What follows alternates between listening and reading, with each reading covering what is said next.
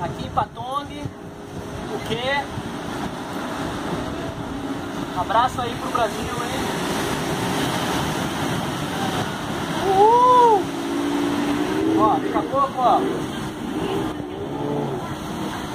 Fui lá no parapente pra fazer um vídeo pra galera aí do Brasil, valeu?